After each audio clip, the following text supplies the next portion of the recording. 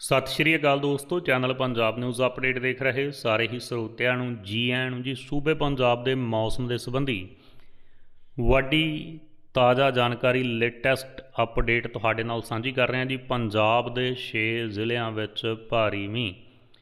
ਹਿਮਾਚਲ ਦੇ ਵਿੱਚ ਕਈ ਥਾਵਾਂ ਤੇ ਫਟਿਆ ਬੱਦਲ, ਸੋ ਪੰਜਾਬ ਵੈਦਰ ਅਪਡੇਟ ਤੁਹਾਡੇ ਨਾਲ ਸਾਂਝੀ ਕਰਾਂਗੇ ਜੀ ਵੀਡੀਓ ਨੂੰ ਲਾਈਕ ਚੈਨਲ ਨੂੰ ਸਬਸਕ੍ਰਾਈਬ ਅਤੇ ਵੀਡੀਓ ਨੂੰ ਸ਼ੇਅਰ ਕਰਨਾ ਨਾ ਭੁੱਲਿਓ। ਪੰਜਾਬ, ਹਰਿਆਣਾ ਤੇ ਹਿਮਾਚਲ ਪ੍ਰਦੇਸ਼ ਦੇ ਵਿੱਚ ਅੱਜ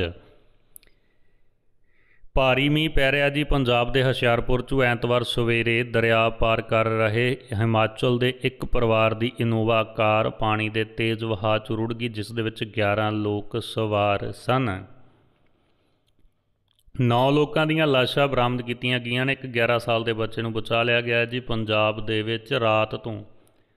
6 ਜ਼ਿਲ੍ਹਿਆਂ ਵਿੱਚ ਮੀਂਹ ਪੈ ਰਿਹਾ। ਇਹਨਾਂ ਵਿੱਚ ਲੁਧਿਆਣਾ, ਅੰਮ੍ਰਿਤਸਰ, ਗੁਰਦਾਸਪੁਰ, ਪਠਾਨਕੋਟ, ਹੁਸ਼ਿਆਰਪੁਰ, ਮੋਹਾਲੀ ਤੇ ਰੂਪਨਗਰ ਸ਼ਾਮਲ ਹਨ।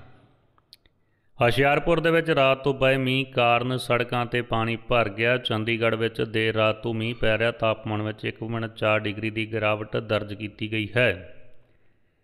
ਪਿਛਲੇ 24 ਘੰਟਿਆਂ ਦੌਰਾਨ 130 ਮਿਲੀਮੀਟਰ ਬਾਰਿਸ਼ ਹੋਈ ਹੈ। ਸੀਜ਼ਨ ਵਿੱਚ ਇੱਕ ਦਿਨ ਵਿੱਚ ਸਭ ਤੋਂ ਵੱਧ ਮੀਂਹ ਹੈ।